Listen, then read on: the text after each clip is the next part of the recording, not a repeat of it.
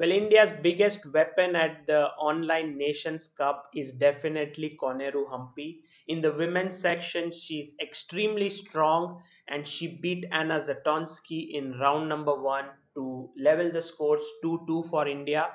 In round number two, she was completely dominating her match against Mariya Muzychuk and we joined the game at this point where it's very very interesting to note uh, white's move. If you were white here what would you play? So Humpy began with queen f5 which is a brilliant move. Uh, first of all you are threatening knight f6 bishop f6 queen h7 mate very simply. And the second threat is just to take on e5 uh, and if uh, black were to take on e4 then after uh, queen e4 now threatening the bishop and also a mate. So there is only one move that is rook e8 but queen h7 king f8 and rook e1 is just winning. Next comes f4 and then queen h8 with a mate. So rook e8 by Muzychuk was a good move. Knight into f6 queen into f6 check king f8 and now I, I leave it up to you to find out how to win this position. Actually, there are several ways to win uh, here, but try to find the most accurate way to win. Okay. The right move is bishop to b5 and you, you ask the question to this rook as to where do you want to go. If it goes to e7, queen h8 is a mate. So must go to d8 which looks like a logical move but now comes the move f4. And I really like this move uh, because you're pushing the bishop away and after takes, takes, queen takes, you make the move rook e1. And this is typical attacking motive. You cut the king off and you mate him. So f5 looks logical and now how do you finish him off as white? Right you go for the move d6 and the plan is to play queen h8 man bishop c4 or straight away bishop c4 also rook e7 is coming up. It's just finishing him off so after queen d6 bishop c4 and now queen g8 is unstoppable. You have to give your queen which is simply lost.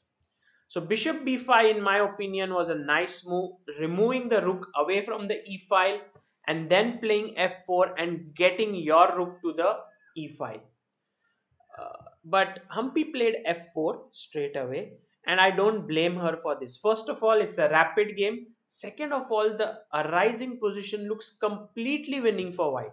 So after takes, takes, queen takes f4, uh, Humpy began to think for quite some time and she played the move queen to h8 check. Now, uh, let's have a look at what happened in the game first. Queen h8, king e7 and now rook e1 check. And it turns out that if you go to d6, I'm taking your rook. If you go to d7, then I have bishop b5 check. So Muzychuk went king f6 and Humpy simply took the rook. She, she thought that her opponent will resign now because she's a piece down. But Mariya gave a check on c1 suddenly started to Humpy started to calculate and she realized oh my god this is not simple. First of all king f2 is met with queen e3 check. Brilliant move. Because after takes check the the queen on h8 is hanging when actually black wins the game. So king h2 is what Humpy played in the game but then it was a draw by perpetual. Unbelievable. And this was a big blow to India's chances the question is, why didn't Humpy play the move bishop to f1? Doesn't it simply keep an extra piece? Well, it turns out that after rook e8, queen e8, d3, this pawn is just so strong, d2, d1 is just winning. So, in fact, white is not even able to stop that pawn.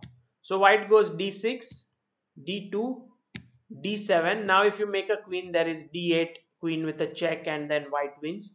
So black plays queen into f1 king f1 queen d1 queen check and now this is a perpetual check. There's no way to stop the perpetual.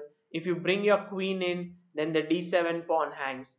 And so uh, it is a draw. It's very very difficult to assess this position after d3 that it was actually a draw.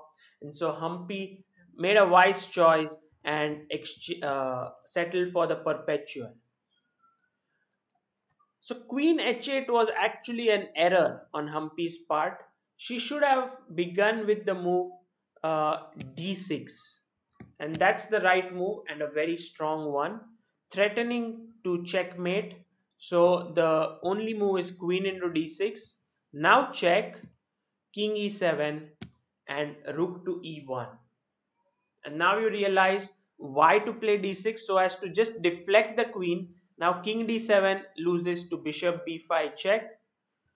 So king f6 and now rook into e8 and uh, you realize that black is unable to get what he wanted before uh, which is the queen cannot go to c1 check because it was deflected with the move d6 so in this position instead of queen h8 humpy had to go d6 and she would have won the game. But really in rapid format these are the errors which crop up in a 25 minute game because it's not so easy to assess positions like this one where you are a piece up yet it's a complete draw